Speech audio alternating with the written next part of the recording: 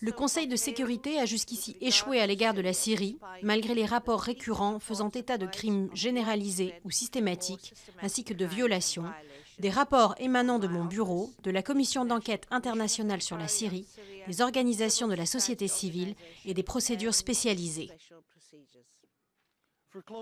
Depuis près de deux ans, la communauté internationale n'a pas réussi à mettre un terme au carnage. La cessation immédiate des hostilités devrait être notre première priorité. Elle doit être suivie d'un processus politique qui permettrait aux citoyens de la Syrie de déterminer librement le cours de leur avenir politique.